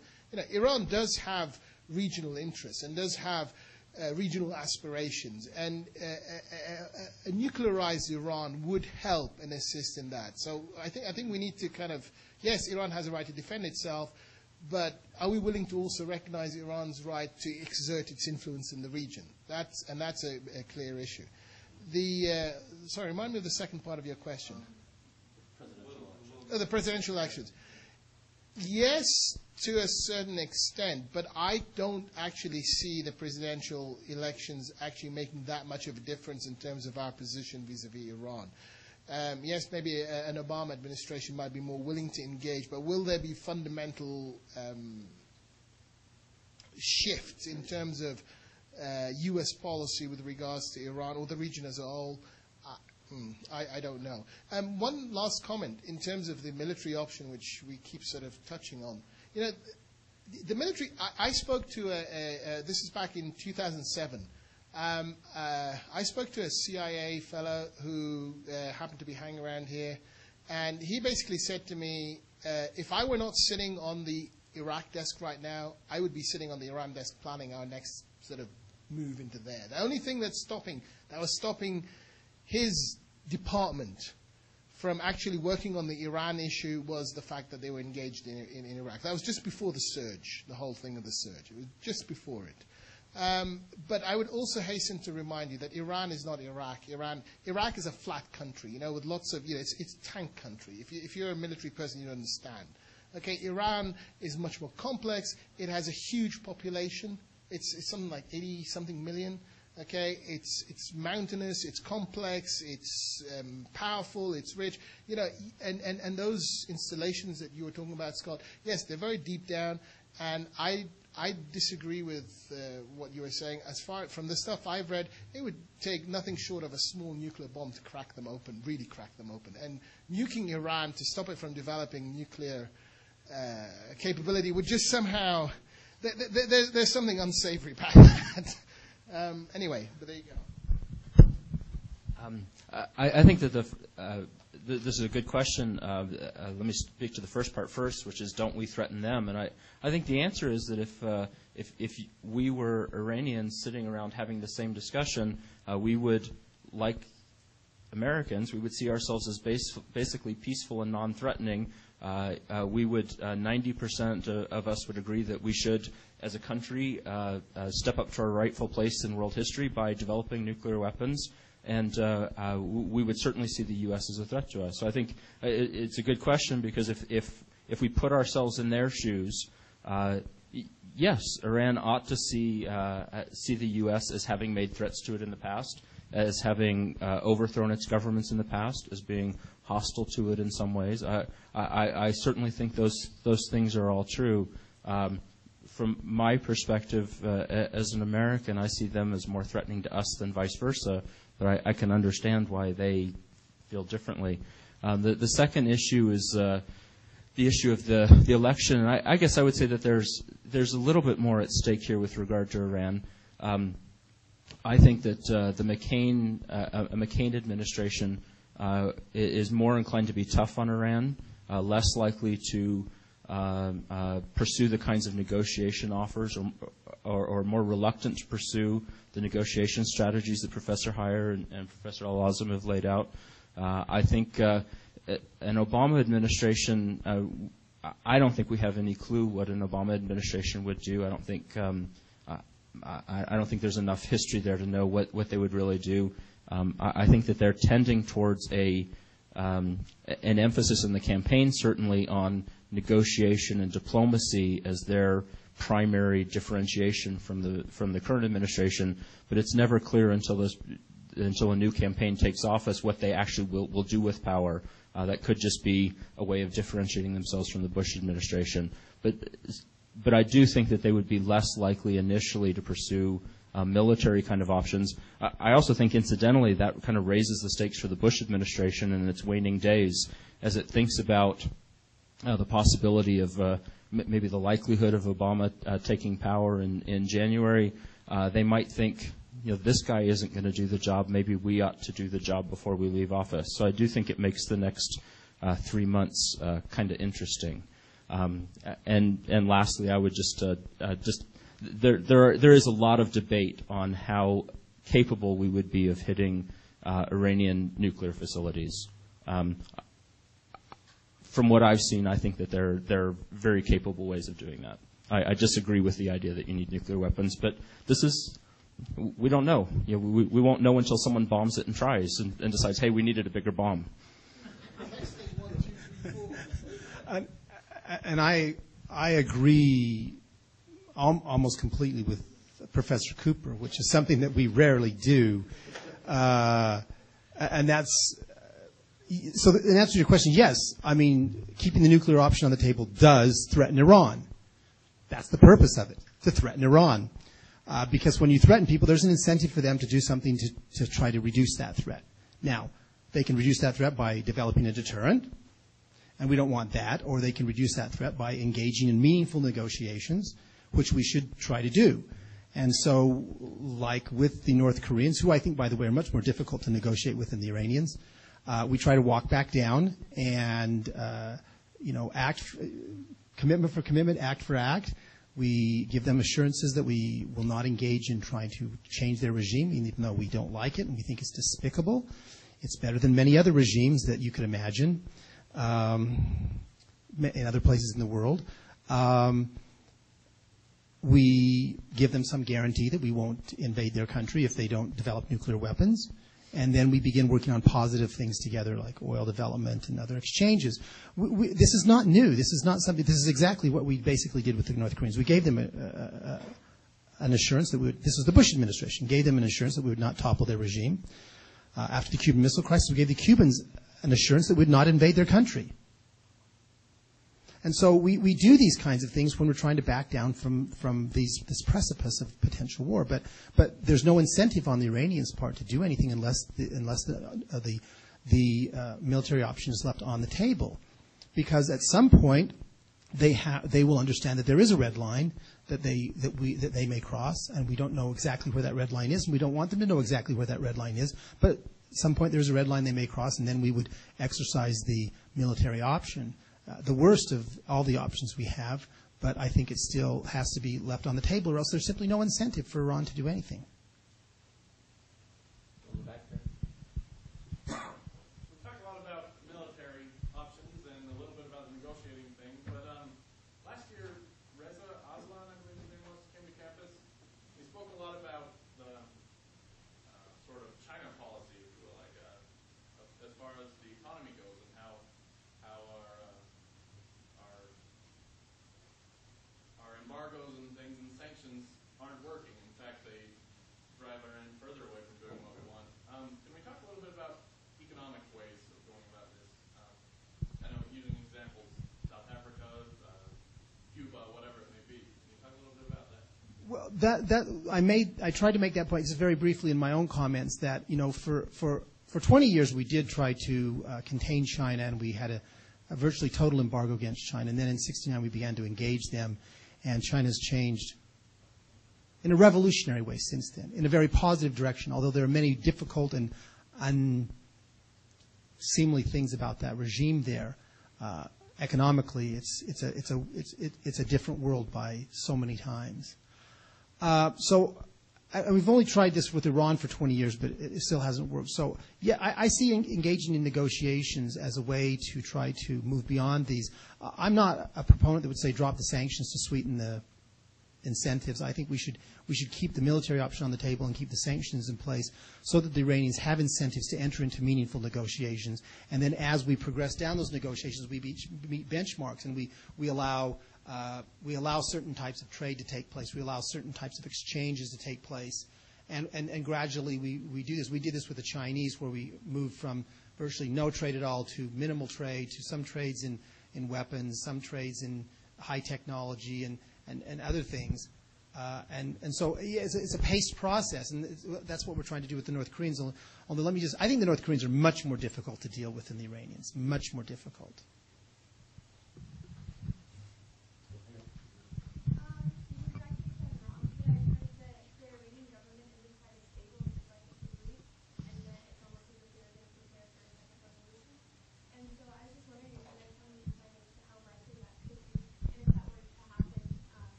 Well, I don't know about unstable. Uh, uh, unstable kind of implies that somehow they're about to collapse or implode. I don't think the situation in Iran is that dire.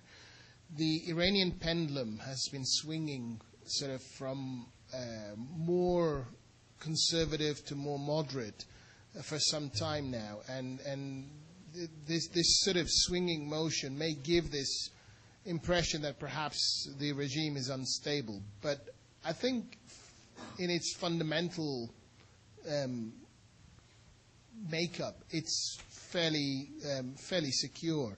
Where we are seeing some movement is um, from a more conservative to a more moderate, and there is a push for more moderation. So I, I don't think we can anticipate a major collapse or or a, or a U-turn change in terms of uh, what the Iranian regime looks like. But what we may be able to see is a move towards a more moderate, more reasonable sort of regime that perhaps we may then feel a little more comfortable in talking to. Now, I would just point your attention to the fact that over the summer, um, Iranian statements, particularly from Ahmadinejad and his sort of, uh, you know, group of, um, let's say, let's call them uh, more extreme. Um, the, yeah, the populists, okay. Um, we're, we're, we're becoming so uh, kind of provocative and, and, and, and uh, dangerous that the Syrians um, uh, be, became worried and, and actually started to kind of uh, look to other. They, they were getting concerned enough to, uh, to start to look for other alternative venues and options uh, and, and paths, and, and, and that's what kind of got them talking to the uh, to the Qataris, and then and that's what started them talking to the Israelis and so on and so forth.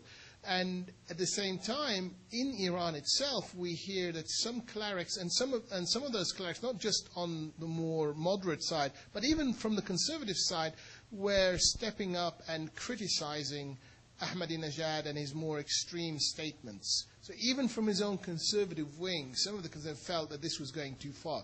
So you could say that there has been a toning down, if you want. But at the same time, uh, I, I, noted that sort of as far as missile technology tests, etc., you know, the, the traditional stuff that's still going on full flow. But the more explosive, the more kind of uh, provocative stuff has been done. So that kind of moving back and forth, that's a, that's that's a normal day-to-day affair of Iranian. And I don't think they're on the on the verge of collapse, but I could be wrong.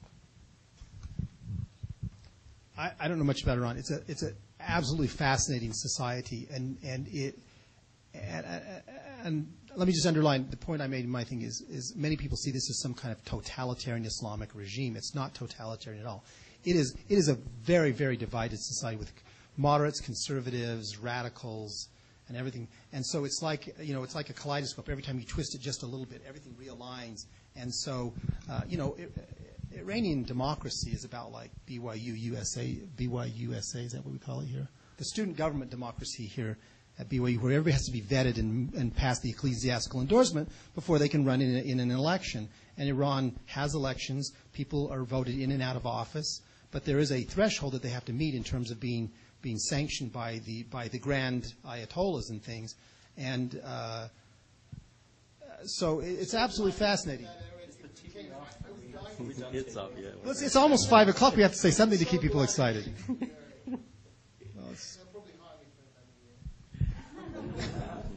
Another question? Yes.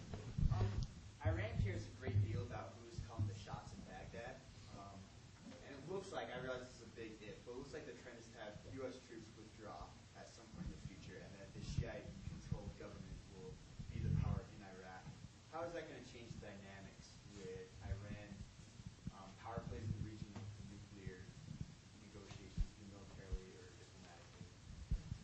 Well, I think that is a good question. I, I would say that uh, um, looking down the road, uh, it, it seems fairly clear to me that the winner of the U.S. invasion of Iraq was, was the Iranian government. Um, that, that's uh, my personal opinion, is that Iran gained more from this than, uh, uh, than, than we did, and uh, certainly more than Saddam did. Um, I, I don't want to overestimate that. I think that we, we've already talked a little bit about Iraqi nationalism. There is a, a, a strong strain of resistance to Iran there. Uh, it, it's not the case that a, a Shiite dominated government in Iran is going to become kind of a, a puppet of, uh, of, of uh, Iran. Um, this isn't going to be a Syria Lebanon kind of situation. Um, you know, going back to when, when Syria um, fairly closely controlled Lebanon. Um, but I do th- occupied and then continued to control. Yeah, yeah. I, I'm thinking about prior to a couple years ago. Um, what, uh, but I do think it means that uh, uh, Iran. That this is another way that Iran has gained influence. It, it will have a at least sympathetic regime in power, assuming, as you did, that the uh, uh, the, the, Shiites maintain uh, majority control for the foreseeable future.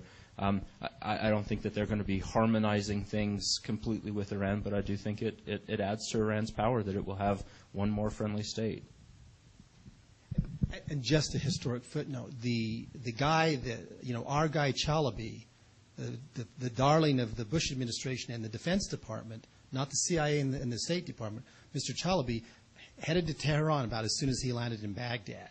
So even the guy that we were promoting, the, the Bush administration was promoting to move in and sort of take over, uh, knew quickly that he had to have good relations with Iran to survive. But, but I would agree with Scott that I think the Iranian, the Iraqis uh, are not just going to roll over to the Persians. I mean, they're Arabs, you know. Can I give a grim prognosis? I'm going to be really depressing here. I think in invading Iraq, we undid the last 20 years of efforts of containing Iran. We basically set it up so that now the Iranians have a lot more.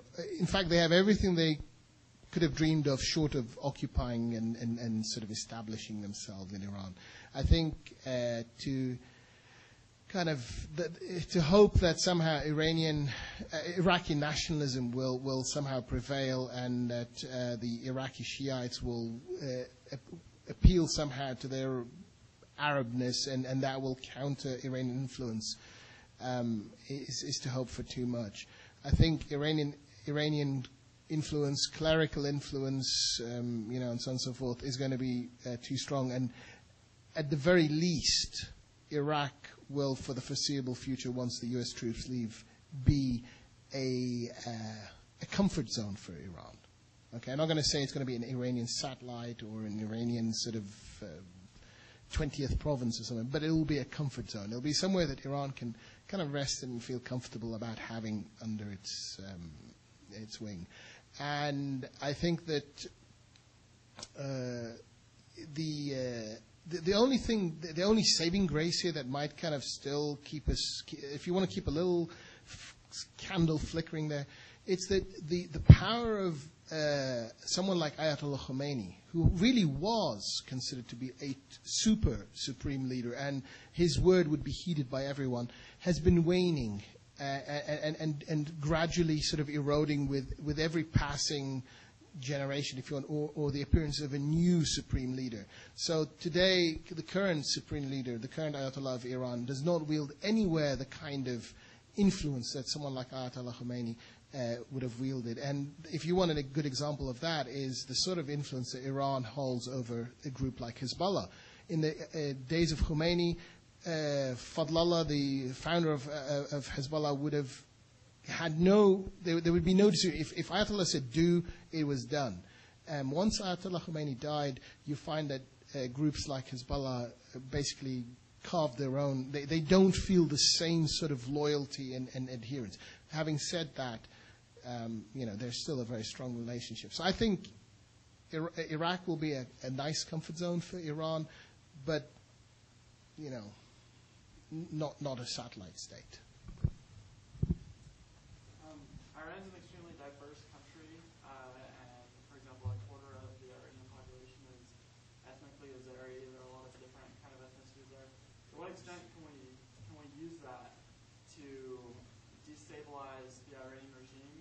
And is destabilization of the Iranian regime really still a long-term goal? Is regime change still something that we want, or are we doing it for stability?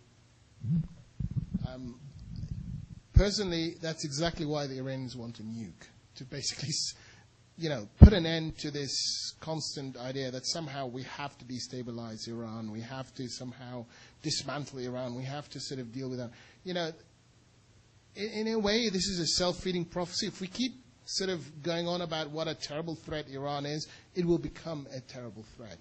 Um, I think we need to deal with Iran at its own level. We need to look at Iran's regional concerns. We need to look at Iran's hegemonial um, and, and security interests in the region and say, okay, well, you know, we think you have a case here and here and here, and you know, in return, we'd like you to consider that we also have regional interests and so on and so forth. The problem is that I, I think we could have negotiated with Iran in 2003. We could have even negotiated better with Iran before we'd gone into uh, Iraq. Going into Iraq without some sort of Iranian coordination was a catastrophe, I think. Um, you know, we would have done much better in Iraq had we gone in with some sort of Iranian sort of liaison, like we did in Afghanistan, for example. Uh, I, I think we need to stop seeing Iran as this kind of, you know, one step away from the devil that, you know, the sooner we destroy them before they destroy us, the better. And more of a, a regional force that, okay, we don't like everything they do, we don't agree with everything they want, but at the end of the day, we have to deal with them. The, the better it will be for everybody. I, essentially, agree. I'm not a proponent of regime change. I think uh, pushing regime change would increase instability in not only in Iran but in the broader Middle East uh, in a way that I think we can't imagine what the outcome would be. I think the diversity of Iran, the ethnic diversity of Iran, is a positive thing, and if the Iranians are given some some sense of security, they they can then turn their attention more to to reforming their their political system, building their economy, integrating minority nationalities into mainstream society and things, and we could see Iran turn around, much as we've seen in China. Mean, China has a long way to go, but China is an ethnically diverse country.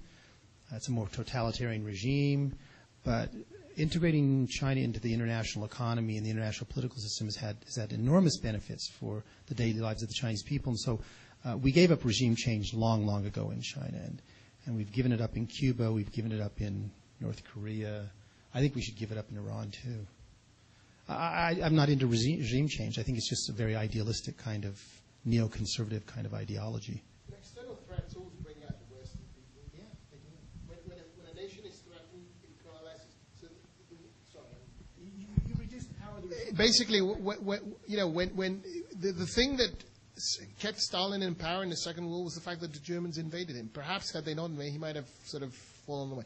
The thing that uh, held Iran and, and cemented Ayatollah Khomeini's power was the fact that Iran was threatened.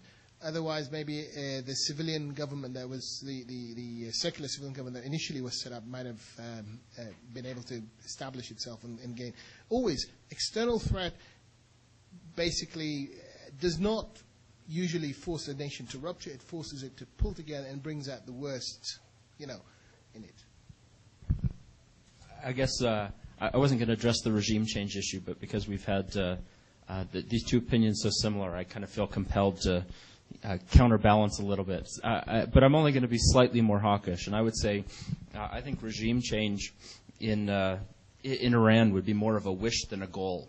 Uh, this is something that we should want to see happen, but actively trying it and pushing it is probably is probably a mistake, and it will probably it will probably backfire on us. And we, so, but if it happened, I, I would think that would be good news. Uh, we've raised the specter of uh, instability in Iran. I, I think Iran causes all kinds of regional instability for its neighbors anyway, just at the status quo. Uh, I, I don't think a, a you know a, a couple years of chaos in Iran would uh, noticeably increase the uh, um, dangerousness of the Middle East. I think the Middle East is a mess anyway, uh, and, and so I'm I'm a little bit more uh, apathetic about that. But again, but I don't think I would push for it because I don't think it would be very productive. Um, but you can you can go home and pray for it. So Yeah, uh, uh, regime change doesn't mean something catastrophic. I would like to see regime change too, but if, if Iran evolves into a more democratic society, that's a regime change for me. Uh, I'd rather see a, a soft landing than a crash.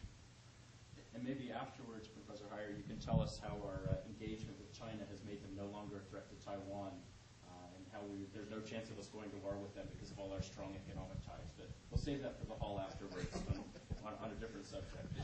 Let me just say, I have a five o'clock appointment, so I need to take off. I was going to say that China one more time, we're going to have that fight. I was just going to say, you know, when you talk about regime change, why are you automatically assuming that it will be for the better? It could be for the worse. Remember, Iran is actually a functioning democracy, just as Eric described it. You know, you could end up with a regime change that could give you an even more hideous. Can you imagine Ahmadinejad with real power? That could be a form of regime change. no, you know, so we need to be careful of what we go and pray and wish for. You know, let, let, let, if you're going to be start the prayer, you know, way, we'd better put some clauses of exactly what we're praying for, not just regime change. Thy will be done. So Yeah. Go ahead. Yes, right, right. Um, earlier this year, Congress passed a bill uh, giving states power to divest from Iran, specifically from the oil petroleum sector. Uh, I believe, Pro- Professor Cooper, you tr- treated this just in passing about the financial strategies that we could take with, with regards to uh, deterring economically Iran from uh, creating a nuclear device. And la- later on this year, the uh, f- finance and banking minister of Iran stated that it was having effect. Currently, seven states have passed divestment bills in Utah, is considering one this year. Do you think that's going to have an effect, really? Well, I, I think the U.S. already has such minimal ties with Iran that there is not much to divest from. I, I think what's happening now is mostly symbolic. Um, the, there are plenty of businesses and especially oil executives who would love to do business in Iran, who have been prohibited from it for, for decades. So I think that there is uh, uh, almost nothing that the U.S. can do to, to reduce our economic ties to Iran.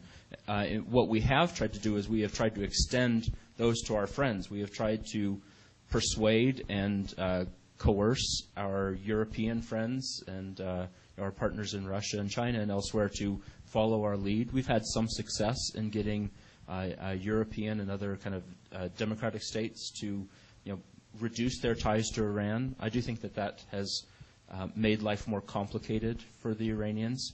Um, I, I think the, the one thing that the U.S. could really do in terms of reducing ties is something that proved very, um, very useful in getting the North Koreans' attention, which was uh, we, uh, and we started down this track already. It has to do with the banking sector. Uh, we uh, declared that uh, U.S. That, that banks that were doing business with North Korea could not do business with American banks. Um, American banks are kind of important to the world economy, as we're seeing in the news over the last few weeks with the financial crisis. So, lack of access to the American economy versus lack of access to the North Korean economy was kind of a no brainer for lots of banks who did uh, divest from, from uh, ties with North Korea. Uh, we are starting down a similar path with Iran. We have blacklisted a couple Iranian uh, banks and financial houses that, uh, with the hope of kind of maybe gradually increasing that to put more pressure on the regime. Uh, there, there's lots of evidence that this got the North Koreans' attention. There's some hope that it might uh, uh, get the Iranians' attentions. But notice that we are not talking about reducing American banks' ties to Iran because they're already negligible. It's reducing the ties of other countries' banks with American banks if they don't reduce their ties to Iran. So there's a kind of indirectness here, and I think that's um, what as far as options for the U.S., that's what's kind of possible. Let me raise one more thing on this broader issue of sanctions, which is um, there, there's a lot of discussion about our economic options, and we should negotiate, we should bargain, we should offer them security guarantees, we should we should offer them all kinds of incentives. Uh, and I would just say that, that that's while I don't fundamentally disagree with that, the, the best evidence against that strategy ever working is that the Europeans have been doing this for decades with very little success. So it's not as if no one has been trying to negotiate with Iran uh, for the last several decades. The Europeans have begged, pleaded, cajoled. They've offered, you know, they've offered the moon um, with, and it seems like Iranian nuclear programs are accelerating rather than decelerating. Um, just a couple of points here. Um, I, this is a, a, little experiment we've run a while back. Um, one, a barometer of how well an embargo is doing is whether you can get Apple iPhones and iPods or not. Okay, Syria and Iran are both under similar sanctions.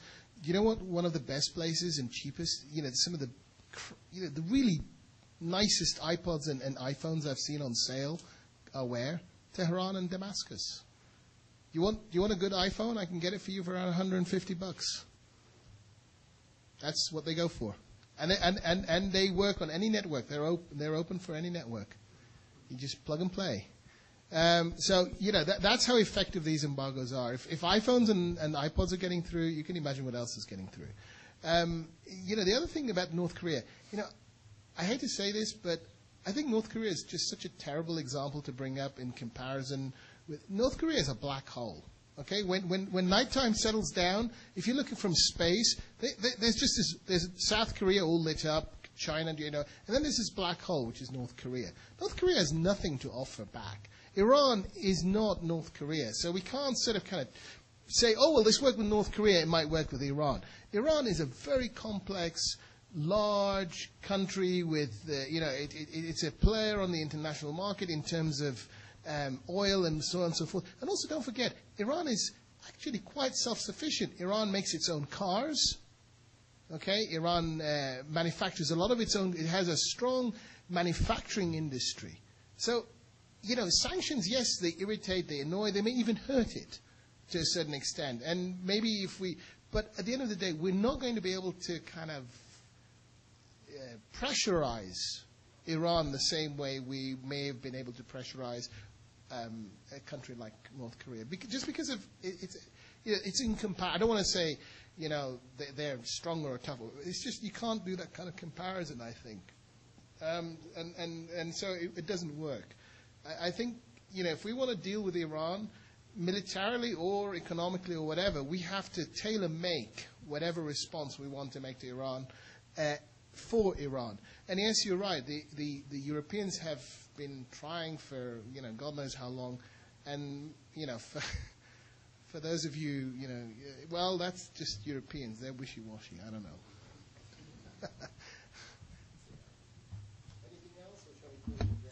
I think we should thank our panelists and thank you all for being here. If you want to come up and any final questions or comments, but we'll adjourn it officially and thank you all for being here today.